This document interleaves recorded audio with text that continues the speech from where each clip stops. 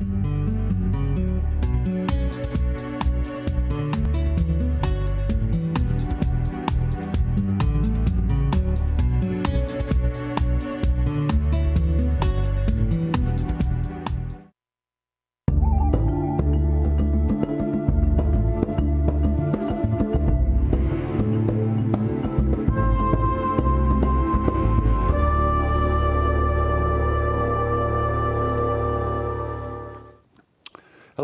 I'm Mark. Welcome to Nate Sutan. If you've been following us at home uh, with, uh, the, with some of the literature we've been going through over the past couple of weeks uh, since we started the fall rotation, uh, I've been in the Gnostic Gospels. Uh, last week I had just, our last show that I had taped, we had just finished up the Sethian Gnostic Gospels, uh, ending with the letter of Peter to Philip. And now we're going to go into the, the, the Valentinian Gnostic Gospels.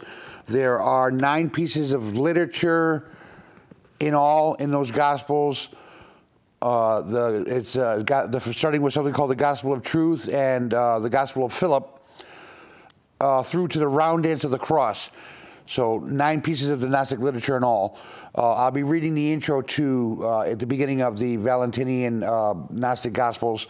It gives kind of a backstory or overview of exactly you know who these Valentinian Gnostics were.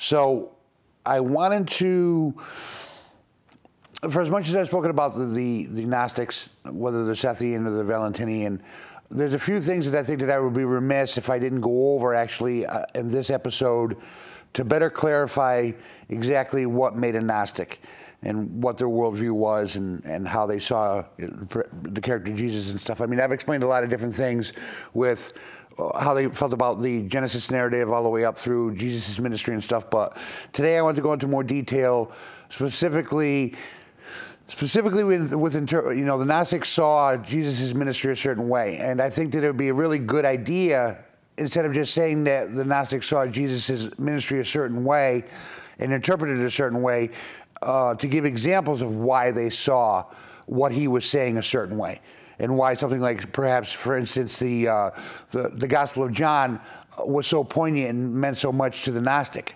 and some of it is very, uh, it's a, some of it's a very radical uh, departure from what the uh, mainstream Orthodox Christianity had developed and cultivated over these past 2,000 years.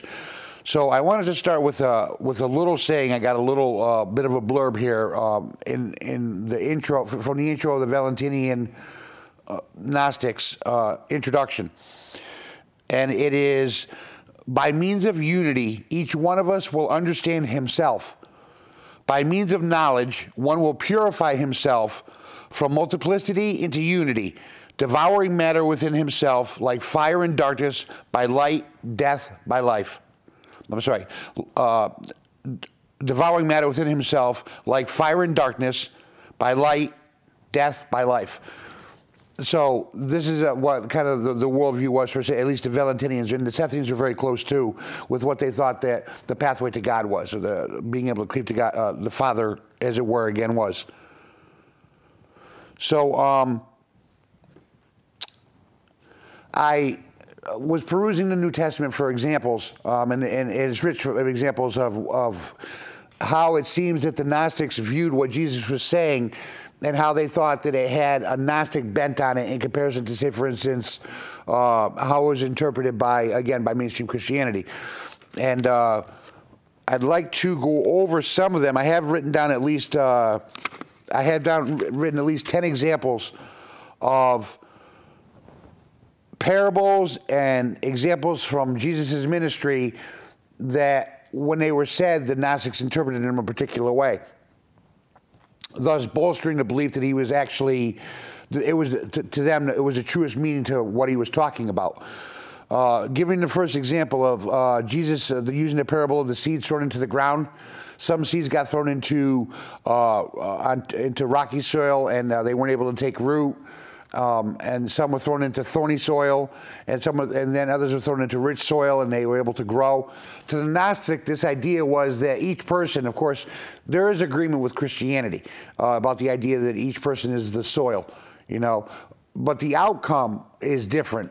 For the Gnostic, this idea of the seed was the seed of gnosis, the seed of wisdom, the seed of understanding, the seed of growth, so that once you um, awoken to this seed that was planted inside of you, then you progressively grew in the cultivation of gnosis so that you can um, you can speak speak a truth and you can speak the truth in comparison to the idea of this idea of faith is I mean the seed is no more than uh, the faith that one cultivates is a is a, a is an Orthodox or mainstream Christian.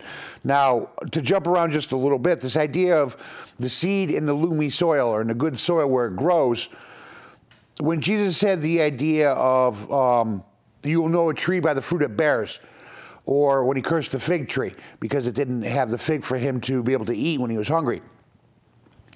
Jesus likens every person to a tree also. And again, it's relatively easy to understand that you will know a tree by the fruit it bears. For the Gnostics, Gnostics this idea was like the seed that grows in a good soil from the uh, beginning uh, initiation of the awakening with the gnosis, one grows into this tree that bears fruit your life experiences, what you've cultivated in awareness, little bits and pieces of understanding and wisdom and insight about how the world works and how we're supposed to interact with each other. These are part and parcel of what makes a nost- uh, uh, uh, an active, um, moving, not radical, but um, vibrant, dynamic. Dynamic is the word I'm looking for. Uh, a dynamic Gnostic the more gnosis that one absorbs, the more that they grow, the more fruit that they have to bear. And Jesus, in saying you will know a tree by the fruit it bears, was more or less pointing out that in any person, you know, if a person is stuck on a per, uh, particular aspect of, of, of, their existence, whether it's bitterness or anger or resentment, or they have compassion and they have love and they have insight, these are their fruits. Every person, myself, you, the viewer at home, any person is pursuing these these teachings and understanding, what we say in our worldview are the fruits that we bear. And the Gnostic in, in their growth bore more and more fruit to be able to share with people an insight that they were able to spread. Uh, there's the parable of the three pieces of gold, which, uh, if uh, again, if the viewer at home is familiar with that parable, uh, it's where Jesus had said that there was a master who gave each one of his servants a piece of gold, and the first servant went out and earned 10 pieces for the one piece he was given, and the second servant went out and earned five pieces of gold for the one piece of gold he was given. But the third servant was afraid that he'd lose the gold, so he buried it. Now, it's my personal conjecture that I think that to the Gnostics, the idea of the gold was your life you know, being born into this world of ex, uh, experiential pleasure and pain in existence is like being given a piece of gold. And your experiences that you cultivate and the wisdom that you that you cultivate to yourself are kind of like the earned pieces of gold. For the one piece of gold that you have, which is your life, all the experience that you bring back to make yourself stronger, to make yourself more aware, are the returns, the dividends, the 10 pieces of gold. But one who takes their gold and buries it, and they bury it in fear of going out and exploring the unknown, uh, stepping outside of the boundaries of what is familiar to them, being very rigid and dogmatic in their understanding and their beliefs. These are the things that uh, that would be interpreted as burying your gold because you, you don't want to have any kind of variance in what is familiar in your life experience. And for that, the father, as it were, would curse that servant. So the, the parable of the three pieces of gold actually fits very tidily into the Gnostic worldview of exactly what Jesus is talking about. Uh, the loaves and fishes that fed 5,000 people. To the Gnostic, the word, and again, there is some agreement with with uh, with organized Christianity or mainstream Christianity or Orthodox Christianity, with Gnostic view that uh, it was an allegory or metaphor for the idea that the word feeds you know, and one person one person speaking a word can feed an audience's spirit of 10, of 15, of 5,000. So to the Gnostics, when a person achieved these Gnostic levels, when they absorbed more and more gnosis, and they were able to speak this gnosis to other people, it fed them the, the five, the 10, the 15, the 20, the 5,000, the 25,000 of whoever was listening to this one person speaking this gnosis. So for them, the loaves and the fish actually fit nicely with the idea of the cultivated gnosis inside of the individual person. Um, remove the beam from your own eye before uh, removing the mote from another, uh, from, from the eye of another. the Gnostics, again, with this internalization of the process and the deconstruction of the self that, that I think is one of the cornerstones of the Gnostic beliefs, there is a critical self evaluation. One asks themselves, uh, um, you start deconstructing yourself about what your worldview is, why you feel the way that you do about the law, and about what is fair, and what is good, and what is just. And you become preoccupied with deconstructing the self so that you start questioning whether or not your responses to the world that you find yourself thrust in are appropriate or godly or, or, or moving towards wisdom. So, such that your so preoccupied, as it were, with deconstructing the self that you don't have time to um, try and remove the small little mote from another person's eye. Uh, also, and it is that realization too that there is so much undone in me that I can't that I can't be a hypocrite and point out what somebody else is doing when there's so much undone in me that I have to fix first. Now, there have been opponents to this idea that for instance, it's been pointed out by some uh, Christian uh, groups that because this this in some ways has uh, some very strong uh, Buddhist underpinnings to it, underpinnings to it. The, the idea of, of, of going into the self and exploring the self on its surface, one might say it seems a little selfish because you, you become somewhat almost narcissistic in, in just doing the exploration of self. But the idea is it could be, I think it, be, could be effectively kind of argued that the idea is you have to fix yourself first before you can effectively try to help anyone else. And the only way that you're going to be able to fix yourself is by concentrating on yourself, by focusing on what is undone in you, you know, so that you might learn how to cultivate empathy. Because, again, it can be argued from a philosophical standpoint that there are different pathways that people will work to try and gain something like perhaps um, empathy. You know, the idea of being able to put yourself in someone else's shoes or feel the pain of someone else. And that can be expressed in like charity work and putting yourself in situations where you're working in a soup kitchen or you're working with the poor and the downtrodden, you're working with the sick, those rejected by society. And it is noble and it is good and it is praiseworthy that one would, would put themselves out there to try and help others as long as the underlying motivation is true, as it were. Um, we do it because of what we're trying to learn about ourselves. We do it because of what we're trying to discover about ourselves and how we compare to those that might be suffering. Not because we consider our good deeds as part of a, a meritorious process where we have gained merit and favor in the eyes of, of the Father or Jesus, whatever, so that we might um, get to heaven on that merit system because that in and of itself smacks of a, of a level of selfishness. So I think that it can be effectively argued that this process, when done well, of self exploration and deconstruction of the self, the end dividends of it are it makes one more empathic, it makes one more aware of those around them. It makes one more aware of their place in the overall totality of the environment and in the world that they that they find themselves thrust into, and um, it makes them a better person. But for the Gnostics, it starts with exploration of self. And the idea of removing the beam from your own eye is the first factor that has to be reckoned with first before you can even think about helping someone else. Jesus cast out demons in the cemetery. Uh, you know, the, the, the, the, part of the, uh, in his ministry where uh, the people that were, had been wandering around, um, the cemetery and strong men couldn't hold him down and they would break the chains of people that tried to tie him up. And Jesus had cast out the demons that were inside of these people. Well, the demons, um, I should actually preempt this with, um, in the beginning part of the, of this, of the Valentinian in the, in the, intro, it talks about the idea of, of, there's like a humans are in a haze, and in that haze there's fear and terror, and that fear and terror must be dispelled so you could, and that haze must be lifted so that one can see God and move towards God and seek gnosis.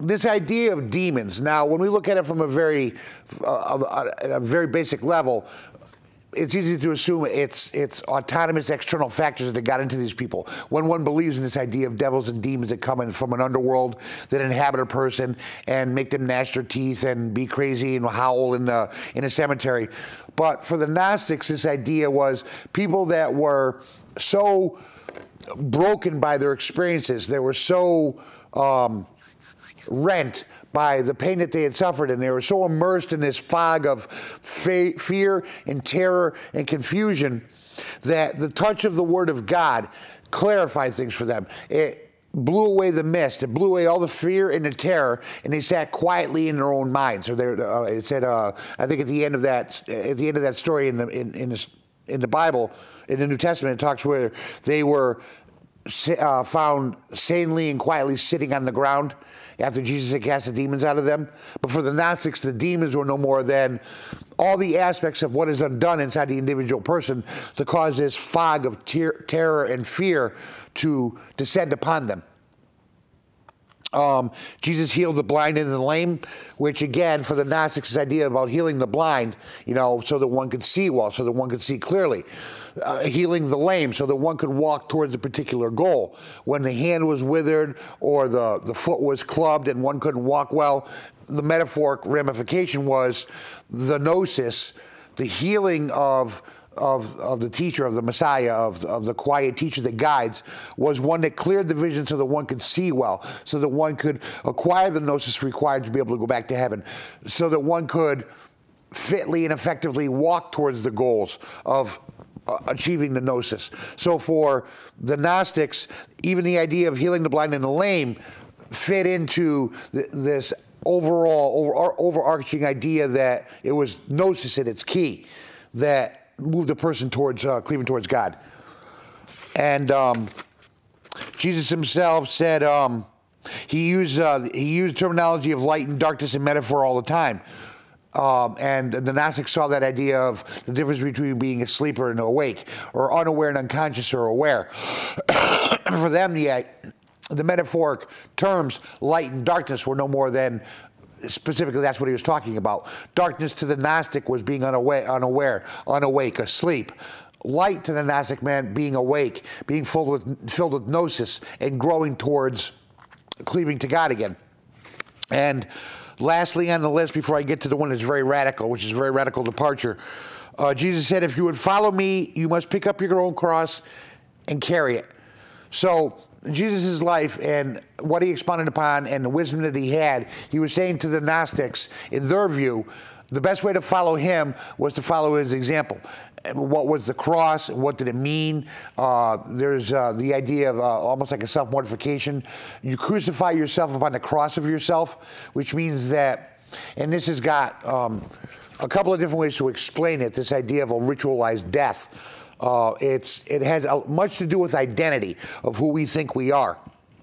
And who we think we are shapes how we respond to others, how we feel about ourselves, and what our role is in the world, and our worthiness to say, for instance, go back towards God. So this critical self-evaluation where one cultivates gnosis, um, deconstruction or, or, or crucif uh, crucif crucifixion of self, annihilation of self in Zen Buddhism, uh, shamanic death in Toltec shamanism. We question those aspects of our identity and what makes us motivates motivates us inside of those aspects of our identity. And through gnosis and through acquiring of gnosis, we have a purge of self, so that these parts that are ineffectual to us, they hold us back, they keep us in this darkness and in this fog and in this terror and fear are exercised away. Uh, I've heard the term celestial surgeon before. A celestial surgeon cuts away the cancer so that the whole overall organism can live. These negative aspects of ourselves, whether it's too rigid adherence to law, um, uh, being a racist, being a sexist, um, uh, shaking your fist at God, uh, saying that these aspects of life aren't fair. These aspects of self and things that we haven't come to terms with in the Gnostic view, are healed and purged from the self in the seeking of gnosis. And but it's going to be different for every person. When Jesus carried his cross, he was carrying his cross for himself, for what was undone in him. or by example, he wanted to show what wasn't done in the individual person. So, as I would have to carry my own cross, you, the viewer at home, would have to carry your own cross, as any person would have to carry their own cross. And through the internalization process in the gnosis, you heal what is undone. And that's different for every person. My issues are different from your issues as they are from any other person's issues you might pass on the street. Everyone is at a different place in their development. And again, that's one of the key concepts with Gnosticism too, that they seem to, in some ways, infer that we're all in different places in our development. The, the, the playing field isn't, isn't vertical, but it's actually horizontal. Um, and we're all in different places in our movement back towards the light or back towards God or back towards the All Father, whatever you want to call it, the overall, overall conscious spirit the creator of the universe. The Gnostics believe that the playing field being level, every person is in a different place because every person's got a different thing to heal. And we can heal that best through gnosis and the knowledge that, that acquire, we, we acquire into ourselves to heal and clear the fog and the fear and the, and the terror. Now, the last part that I want to talk about about how the Gnostics interpreted Jesus and what he was saying. And as I said, I gave uh, like perhaps around 10 examples. There are more examples in his ministry of things that he said and that he did where the Gnostics uh, thought that he was talking all about gnosis, and the core of his ministry was about gnosis. Um, and I could probably come up with more examples given more time, but I want to try and condense and dovetail it down a little bit so that we can move forward into some of the uh, Valentinian Gospels before the end of the uh, before the end of this episode. But the last big point that I wanted to bring up is um, within the Gospel of John. Now, the Gnostics saw the Gospel of John, which is the last Gospel the, the, uh, in the New Testament of Mark, which is first, Matthew and Luke, and then John, who is said to be the most beloved apostle of Jesus. But for the Gnostics, they believe that the Gospel of John was was a um, Gnostic tractate, tractate, tractate, a story. It was a, it was a, it was a Gnostic story based upon what John had written about what Jesus had said. Now, again, this is the radical departure, and I know that it's going to sound very uh, controversial, but bear in mind, this is what the Gnostics thought Jesus was saying when he said what he said. And I have to go back to I have to go to in the Gospel of John to some of the most important statements Jesus made. Now, uh, to, to remind you at home, only in the Gospel of John does Jesus claim to be God. In Mark, Matthew, Luke, he does not. Only in the Gospel of John. I mean, how many of you know the viewers at home have seen John three sixteen at football games or baseball games and stuff like that? Is because those Christians are holding up the sign about accepting Jesus as Savior and Jesus as God and stuff like that. Um, this is very significant because the Gnostics were looking at the exact same things and getting a very different understanding about what Jesus meant. And this is the case in point. And as I said, I know it's very controversial, but it's very interesting to contemplate because you're looking at the same thing and getting two different meanings.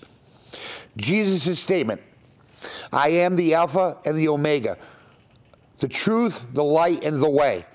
No one comes to the Father but through me. In many ways, this is the linchpin for the Orthodox Christian fundamentalist groups of today. Uh, if there is a God that created the universe, his son was saying specifically, without exception, the only way that you can get to this God or this Father is through me. So it rules out any other belief system. rules out Buddhism, Taoism, Islam, uh, uh, Judaism, Buddha, um, Hinduism, any other religion, because Jesus is specifically saying, I am the truth, the light, and the way. No one can come to the Father but through me. That is their is their crowning achievement for because every every religion likes to lay claim to having the the exacting correct dogma, and for um, fundamental Christianity, this is their exacting dogma, the, the exacting correct dogma in this statement the point I'm bringing it up is because the Gnostics heard this and got a completely different understanding of what he meant when he said it. And it could be used as a point of reference to the Gnostic goal.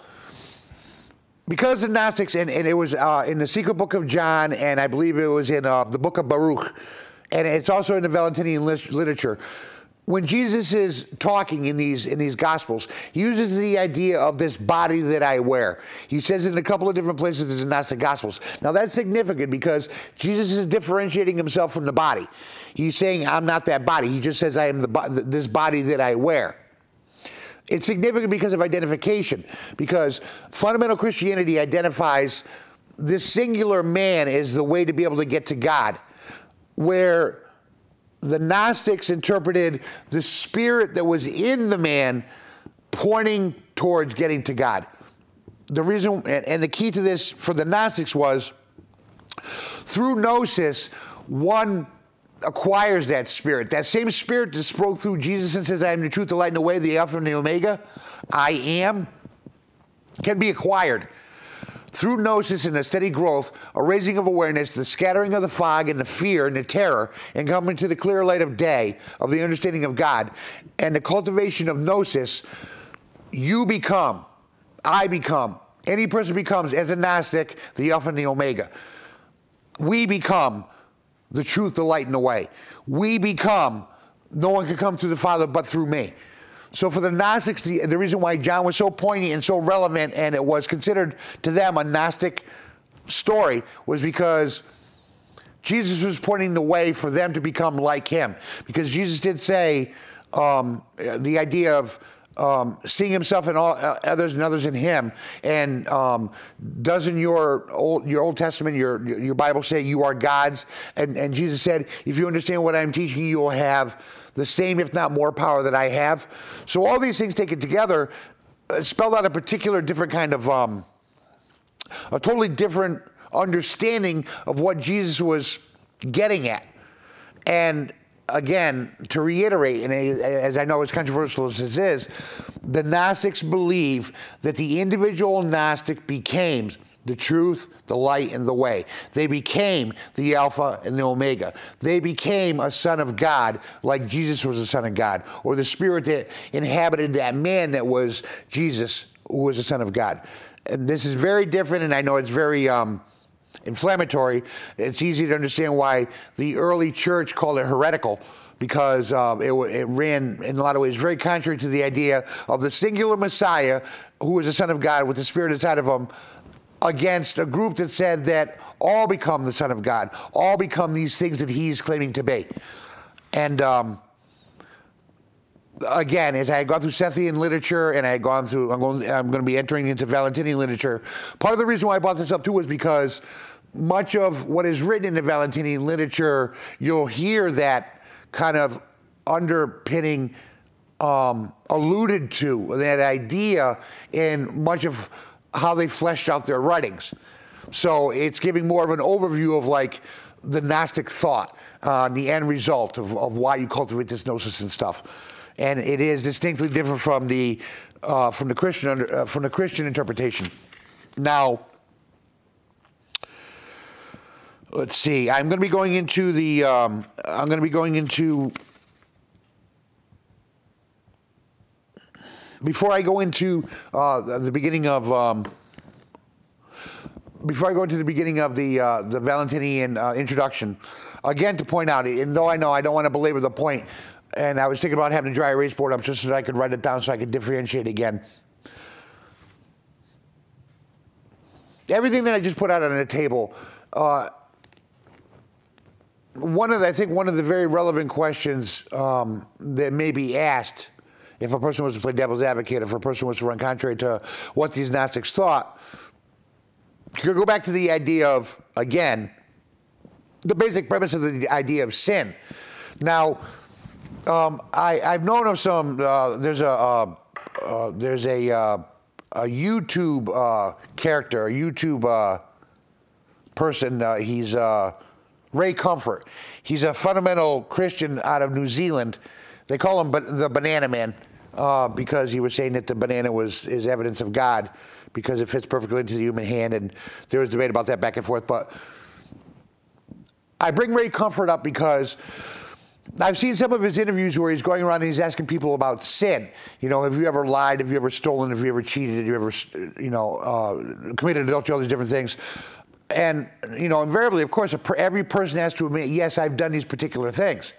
So, uh, so for him, by fiat, he says, well, that's proof. Nobody is without sin. Only Jesus is without sin. So you must accept Jesus Christ as your Savior to be able to achieve heaven, to be able to get to heaven. Now, the reason why I bring it up again was because, again, basic premise.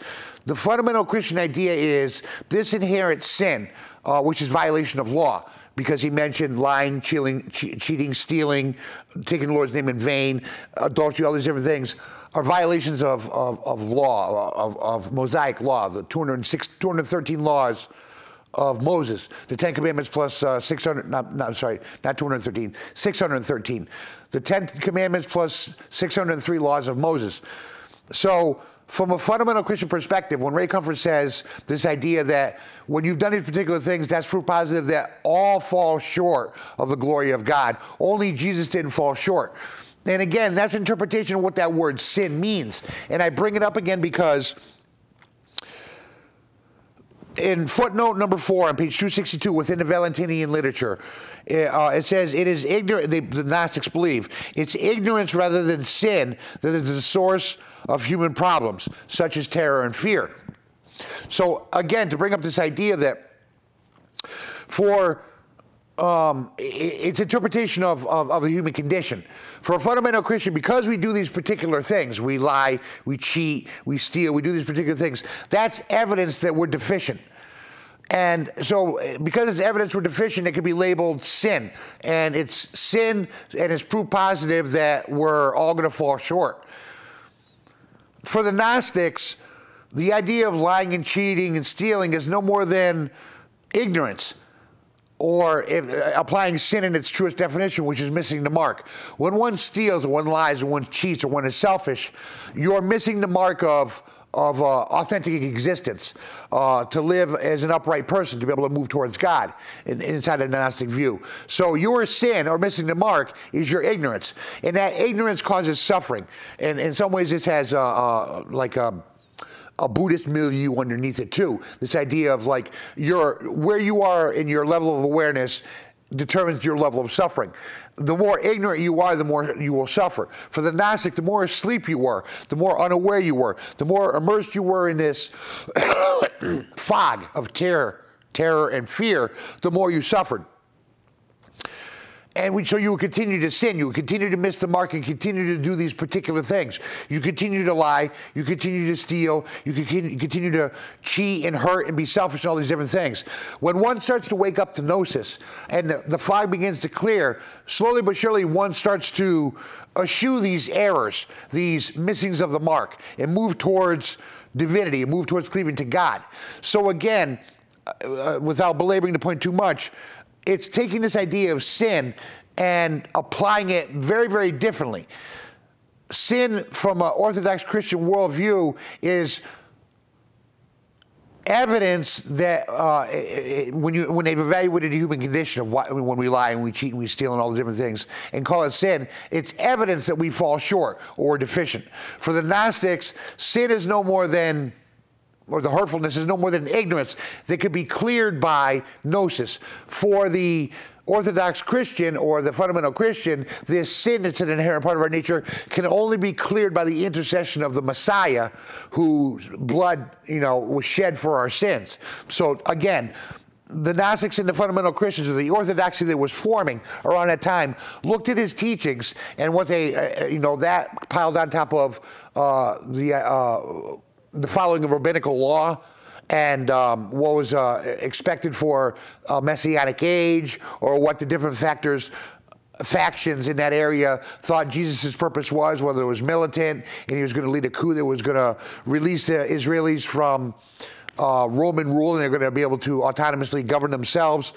All these different factors, factions, um, interpreted Jesus' teaching a particular way pushing all those aside, again, going back to the fundamental Christianity in comparison to the Gnostics, they had different interpretations for what Jesus was teaching, thus, different remedies for the problem. What's the end goal? The end goal is to get to heaven. And before I leave it off and I go on to the Valentinians, when I, put, I talk about the idea of the end goal for the Orthodox Christian the idea, the, the end goal was achieved by accepting the fact that we're inherently flawed because of sin, accepting Jesus as our personal Savior and intercessor, and His blood washed away our sins, thus achieving heaven. That was the end goal on that side. For the Gnostics, we are in a fog of ignorance and unawareness, and we're asleep. And through gnosis, one wakes up, corrects for the error, turns towards the Father, and then and thus achieves heaven gradually over time, thus cleaving to God again. And uh, as I said just before I leave it off, it's interesting for the Gnostics this idea of one last thing. When one accepts the Lord Jesus Christ as your Savior, it's kind of like crossing a line. You've crossed the line and you've been saved by His grace. Uh, many of you have seen uh, perhaps the bumper stickers out there once in a while. Christians aren't perfect, just forgiven. And in a lot of ways, it, uh, it speaks to the idea that they've crossed the threshold. Because they've accepted Jesus Christ as their Savior, they've crossed the threshold that has guaranteed that they'll get to heaven.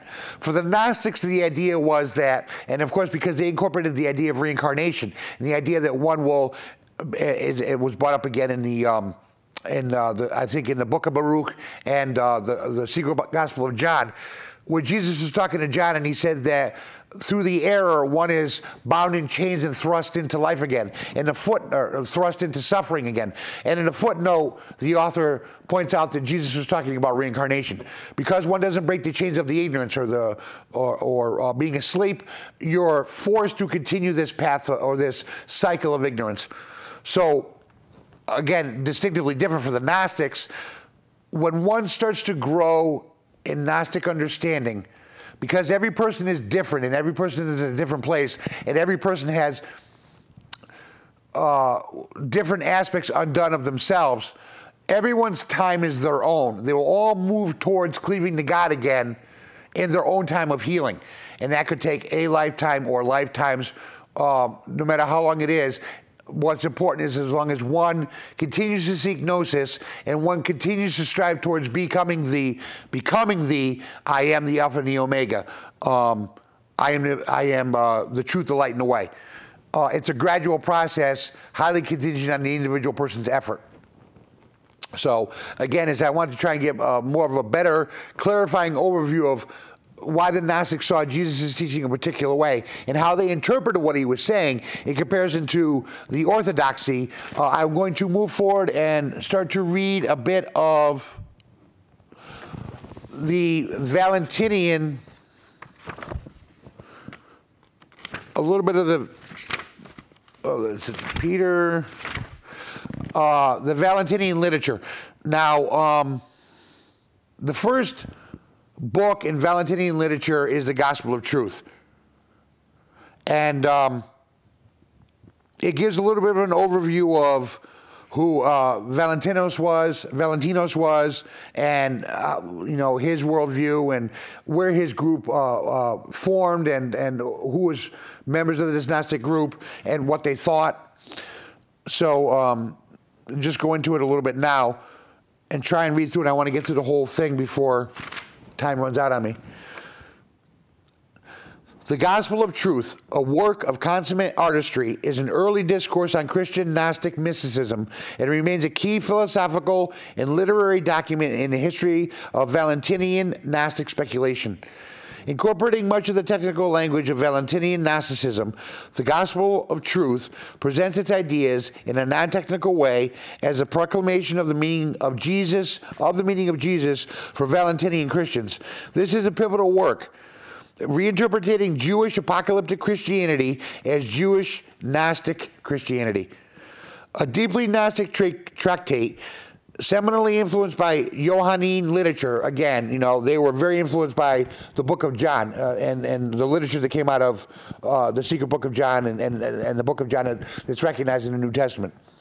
The Gospel of Truth maps a way of knowing the Father through the word of gnosis, which is mystical knowledge.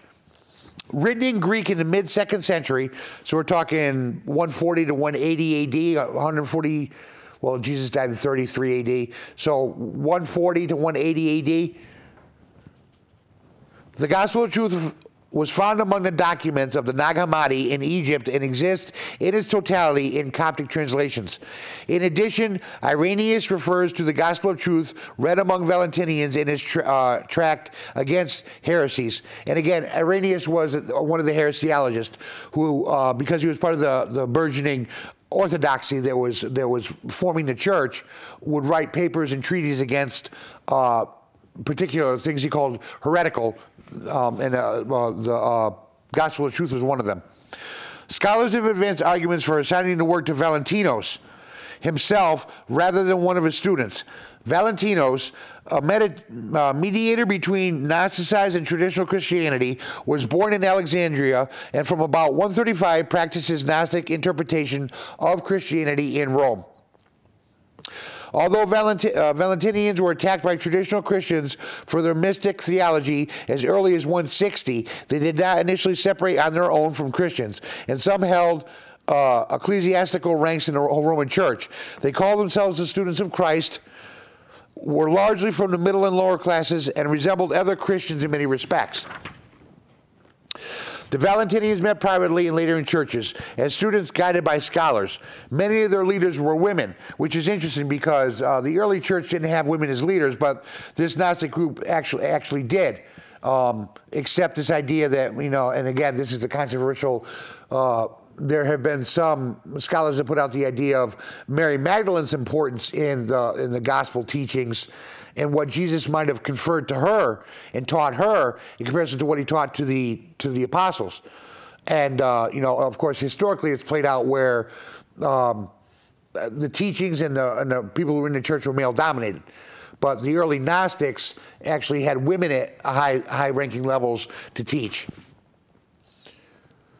Many of the leaders were women, from which Gnostic Christianity held out positions as leaders and teachers not available in an official church. The Valentinians saw their mystical theologies as allegorical commentaries on the Hebrew Bible and Christian scripture, but their opponents saw them as extravagant heresies. In Valentinian Gnosticism, Christ and the Word, or Logos, are external beings, or aeons, and Jesus is brought forth to bring salvation and enlightenment here below. This recalls the Logos made flesh in the Gospel of John, but beyond some common interpretation of the life of Christ, their belief and documents clashed. One cannot read the Valentinian documents without concluding that Gnosticism was different, not just allegorically from mainstream Christianity. The Valentinians offered a whole new scheme of salvation through knowledge and an, and, an, and an and an unknowable Father in the heavenly realm of light, which is the pleroma or fullness. Traditional Christians were right to suspect otherness and the Valentinians. So this last paragraph that I just read actually is like a brief summary of much of what I talked about in the first half of the show. Uh, the the Gnostics believe that. Uh, um, salvation through knowledge and an unknowable Father in the heavenly realm of light can be obtained through the for the individual person. Again, which is different from the idea of Jesus as as a savior for the uh, for the fallen and broken uh, sinful. The gospel of truth begins with Jewish Christian annunciation of joy in the good news of the gospel, which brings hope to those who seek the Father. The following lines describe the generations of ignorance and error, which derives ultimately from the Father.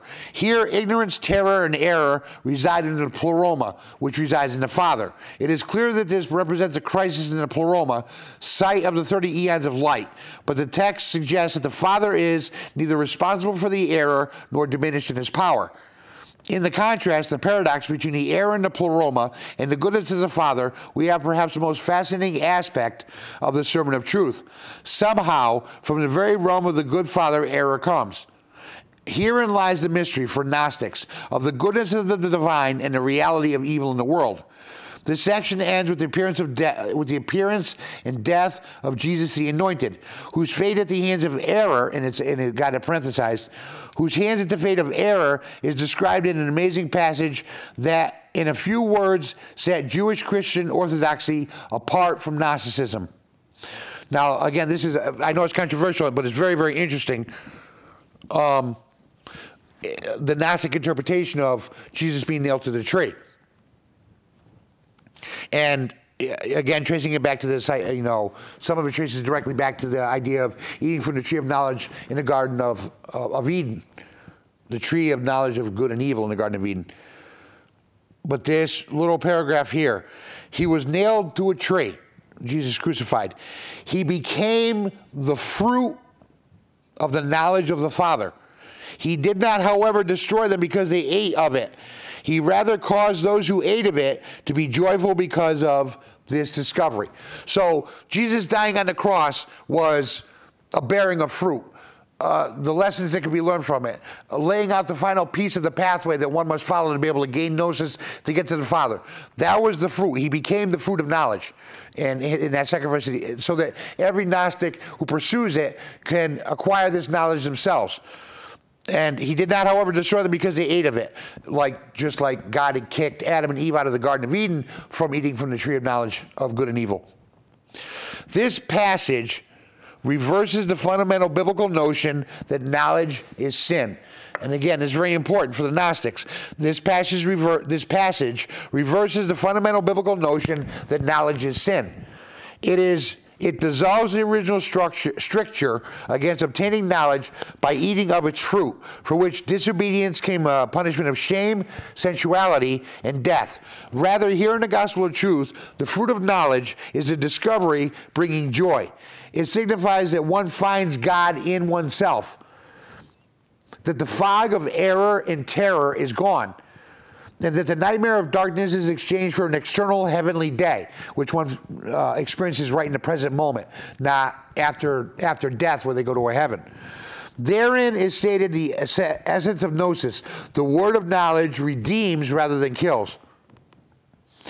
And uh, I just as a little footnote here, um, just to point out, and this isn't necessarily casting aspersions at mainstream Christianity for this particular tool, but or what was used. It's just pointing out what, in a lot of ways, is is pretty self-evident when one evaluates the system. The acceptance of the Lord Jesus Christ as your Savior, your personal Savior, in the Orthodox belief system. For one, it's an idea that doesn't actually give the person a choice. Because the idea is you have to accept the Lord Jesus Christ as your Savior, or you will run the risk of going to a place where you will suffer for all eternity. And it is, again, I think pretty self evident that that's not really a choice. Um, when you say you have to accept the Lord Jesus Christ as your personal Savior because of sin or go to hell, who's going to say, oh, I'm going to go to hell? You know, every person will say, well, I have to accept. I, I, I, I've got no choice but to. This, in a lot of ways, is an interpretation based on uh, manipulation of fear. The, the orthodoxy has used through history, fear in a lot of ways to compel people to toe the line, as it were, or to accept the doctrine as, as the truth. and um, again, it's not casting aspersions at the um, at uh, at uh, the tenets of the belief system, the Christian belief system. It's just pointing out that this is one of the tools, and there are those that argue that that's not necessarily true. But I think that if we're going to be thoroughly honest with ourselves in our presentation of uh, the, the, root teaching of Jesus um, and the sum and total of what our lives are supposed to be at the very end, if we're going to go to a place of reward or punishment, fear was used. You know, um, whether it was through the Inquisition or, uh, you know, uh, the idea of the different people that were told to convert or die, um, all the way up to now where it seemed relatively benign. You can still find little, um, there's that little, uh, I forgot the name of the press. The little booklets that you'll find sometimes in um, truck stops or in phone booths or in different places that, that uh, they're cartoon books. The little booklets out of uh, some, some uh, Baptist churches out of Tennessee or the Carolinas. And uh, I, I'm guessing the, the, the, some of the audience may be familiar with them. Chick Publications, I think it is. Uh, as I said, they're just little booklets that are cartoons, and they're they're Christian in nature. And it tells a story about the unredeemed person, and then he goes through some kind of suffering, whatever, and all of a sudden he has epiphany and he accepts Jesus Christ as his Savior. And then at the end of it, it says, "What will you do?" You know, what will you choose? What will you decide? And in some ways, it is, again, a manipulation of fear, even though it's relatively benign. No one's twisting your arm behind your back to accept it. You could just as easily take this book and throw it in the garbage. So there's not necessarily anything threatening about it. But the point is, it's relatively benign now to where, as it was used as a, a tool through history, it, it was it was uh, pretty uh, dramatically and severely and savagely used. I bring it up because Gnosticism doesn't use fear to entice a person to move towards God. They use the idea of, of burgeoning and growing gnosis. And actually, the gnosis is what dispels the fear for the Gnostics. If there's this unconscious state that we're all in, because of the fallen state, we've all fallen asleep. When we gain the gnosis, all the fear dispels. Like uh, the vapor in the morning, that's when it's exposed to the sunlight. Uh, and that's very significant a very significant difference in many ways between the Gnostic thinking and some of the mainstream Christian thinking. Um, so as, as I read here, this passage reverses the fundamental biblical notion that knowledge is sin.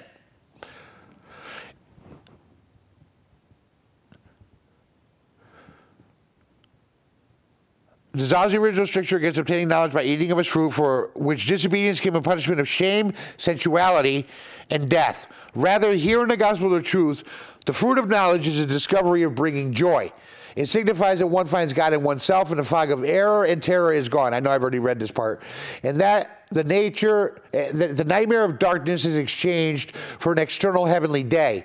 Therein is stated the essence of gnosis. The word of knowledge redeems rather than kills. There follows an idealized moving portrait of the Son, of whom the Father is not jealous, and who utters no threat of gnashing teeth or hell and brimstone to fellow Jews who do not accept that he is the Messiah. And again, it's a Gnostic idea that they're not using fear and the threat of uh, being cast into hell or the uh, gnashing of teeth or anything or brimstone. Uh, to to uh, if Jesus is the Messiah, you accept it and you gain knowledge and you gain gnosis and move back towards God through your own effort, or you don't. and You stay in darkness. That's kind of like as cut and dry as I can make that. In addition, to be being a quiet guide of sheep gone astray, which this Valentinian literature calls Jesus the quiet guide. That's one actually section. The implied Jesus also teaches a portrait of the Father's face. We soon realize that the Father, not the Son, is the center of the sermon and is personified and endowed with utter sweetness. The return of the awakened ones, the return of the awakened ones, the individual Gnostics, is then described in the superb poetry of Gnosticism until the moment when they who are passing through all these things awaken they see nothing because the dreams were nothing. It is thus that they can they who cast ignorance from them like sleep do not consider it to be anything nor regard its properties to be something real. But they renounce them like a dream in the night and they consider the knowledge of the father to be the dawn. It is thus that each is acted as if asleep during the time of ignorance. And thus a person becomes a person comes to understanding as if awakening.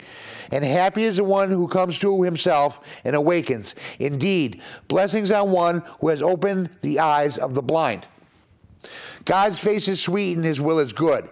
God gives his aroma to the light, which the spirit smells. God's presence is deeply joyous and sensual. He brought the warm fullness of love so that the cold may not return, but the unity of the perfect thought may prevail. The agent of human re- the agent of human return is the Son.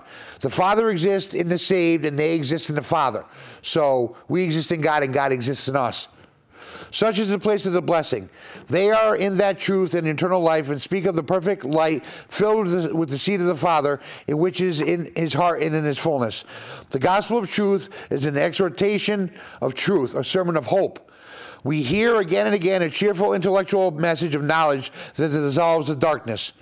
And this is that last part. What then is that which he wants such a one to think? I am like the shadow and the phantoms of night. When morning comes, this one knows that the fear that has been experienced was nothing. So that was actually the intro to the uh, the, the Gospel of Truth, and uh, just getting into the Valentinian uh, Gnostic Gospels. I hope that some of the uh, things that I've gone over today uh, more clearly define how the Gnostics had actually thought, interpret, interpreting what Jesus' ministry and the core of what his ministry was all about. Um, I'm just about run out of time. Um, and I'd like to thank you again for joining me. Um, hopefully, my co host JC will be back with us at some given point. And if you have any questions, comments, criticisms, you can always go to our Facebook page, uh, Nate Sutan. Uh, we welcome any kind of comments or criticisms or, or anything, any kind of input, any kind of feedback. Point us in a direction. My name is Mark Power. I'd like to thank you for joining me again for another episode of Nate Sutan. Good night.